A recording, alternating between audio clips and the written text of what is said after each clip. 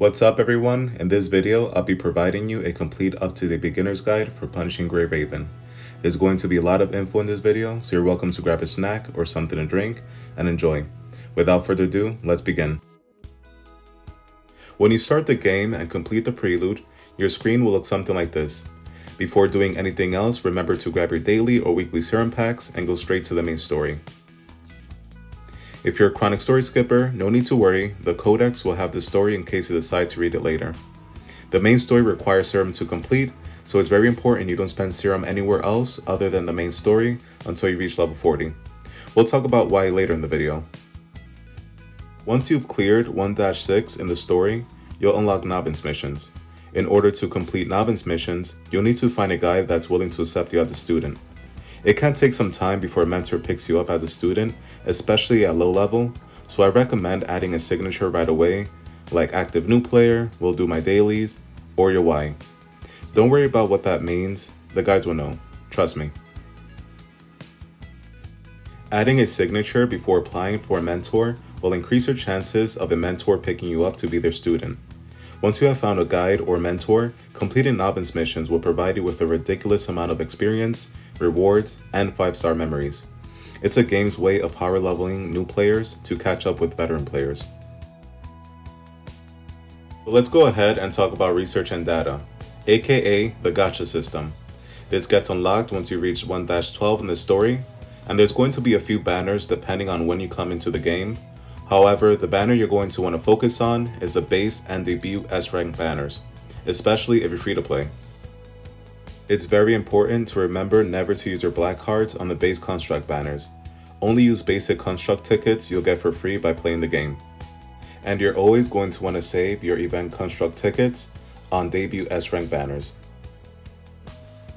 Never pull on fate banners unless you're spending money in the game, because if you're unlucky, which you most likely will be, you might end up having to reach 80 to 100 pity to pull for the debut S-rank character instead of the normal 60. Pet banners are also not worth pulling as a free-to-play because pulling for them will eat into your black card funds and that means you won't have enough black cards to pity the debut S-rank character.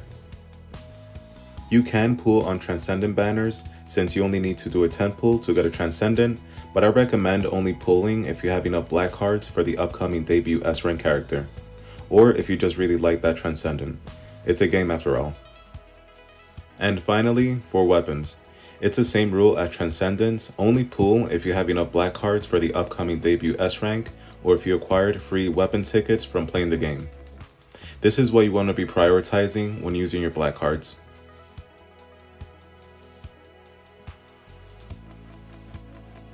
And for info on drop rates, please refer to the banner's rules, drop details, then swap to rate notice.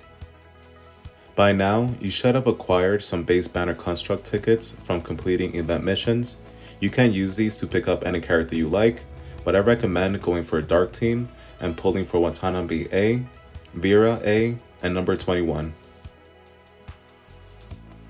Elemental damage is better in this game since physical damage is very reliant on defense shred, and starting the game with this team will get your count on the right path and put you closer to having a team for every element.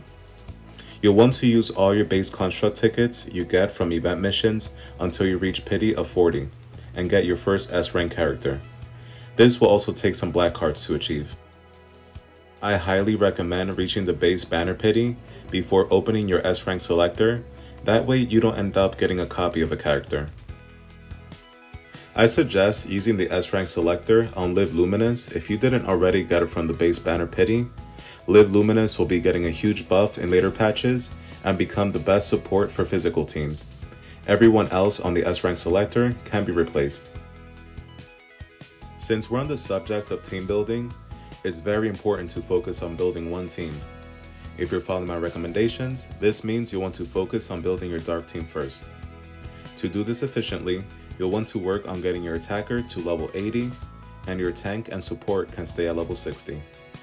And being this is still very early game, don't worry about leveling weapons or memories past level 25. Just focus on leveling your team up and using skill points on your attacker, your support's healing skill, and your tank's tank class skill. Remember to always have a tank in your team, as tanks help with debuffs and provide extra damage reduction to enemies through their tank class skill. Now for the shop. Honestly, the only thing you want to be doing here as a beginner is buying this daily character shard for 20k cogs. This shard is definitely worth buying since you'll need these shards to rank up your B and A rank characters. Once you've cleared 3-8 in the main story, you will unlock another way to obtain B and A rank character shards by completing interludes. Interludes lets you know more of a character's backstory, and when clearing the challenge mode, you will receive 2 character shards per day for their respective B or A rank character. Because interludes require 30 serum per clear, I recommend doing no more than 1 or 2 characters interludes per day, that way you still have serum left to use for other content in the game. Increasing a character's rank not only makes them stronger, but also unlocks a new skill. If you're wondering which B or A rank character you should rank up, here's a list of the characters that are worth ranking up. Feel free to pause to take a better look. Clearing 4-2 in the main story unlocks dorms. Dorms is another way for you to spend time in the game by decorating your construct living spaces. Dorms also have their own dailies, awarding you dorm coins, which you can later use to purchase items in the dorm shop. However, you're going to want to save your dorm coins to purchase either permits to unlock more dorms, or purchase coding sketches and exchange the sketches for coding blueprints, and then use the blueprints to purchase codings in the coding shop. That said, it does take a while to get enough coding blueprints to exchange for a coding, but with some patience, you'll have enough to purchase a coding for your favorite character. You can join a guild once you complete 4-5 in the main story. When joining a guild, you and the other members of your guild will gain access to 3 bosses per week, where you have to use specific characters and do the most damage you can before the time runs out. Completing this weekly will provide you with points to spend in the guild point shop. I highly recommend saving these points and using them to pick up Transcendent shards. The guild Point shop will let you purchase enough shards to get your Transcendence to SS rank. You'll unlock your first Transcendent at level 52 from the event missions, so in the meantime, just save those guild points until you reach level 52. Reaching level 35 and clearing 5-7 in the main story will finally unlock you weekly Warzone and Punishing Pain Cage. This is going to be vital to complete every week as this will provide you with a significant amount of black cards that you'll definitely need if you're planning on pooling for debut S-rank characters. As a beginner, you won't be scoring high in these modes since you'll need at least 3 teams for a decent score, so your main focus is going to be completing them for the black cards. It's worth mentioning though, when completing Warzone and punishing pain cages, you will receive currency for the respective modes and how much of the currency you get depends on the high score. For the Warzone shop, I recommend you save your Warzone currency for the 6-star memory resonance material.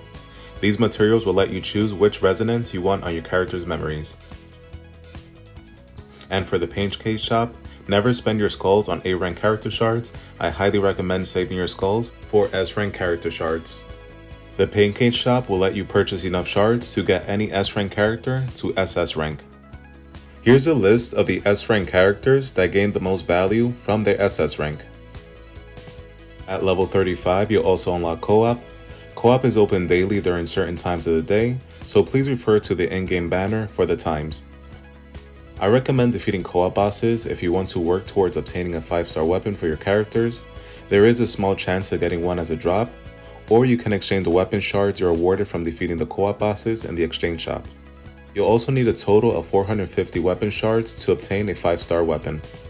If you get a 5-star weapon for a character that you don't have, you can scrap them for a total of 150 weapon shards. And finally, at level 40, you'll unlock event content. This is going to be very important for progressing your account. Once you're in the event section, you'll want to use the majority of your serum to obtain event currency through the currency farming stages. I recommend using characters that you need to level for these farming stages as they provide a decent amount of experience. And make sure not to use your serum for the memory stages, it's generally not worth using serum there since you'll get a lot less event currency and if you really need 6 star memories, you can just use a currency you get from the currency farming stages to buy the memories you need instead of coping on a 14% chance at a random 6 star memory. You can also use the event currency to buy different materials in the shop to build your character roster. For more information on what memories to use on specific characters, I highly recommend visiting the Gray Ravens website. There you'll find everything you need to know on how to build your characters. After level 40, just continue to follow these tips and enjoy the game at your pace. If you have any questions at all, please feel free to ask in the comment section. The PGR community is very helpful and I'm sure you'll get some great advice. I hope you enjoyed this video and I'll see you in the next one. Thank you for watching. Peace.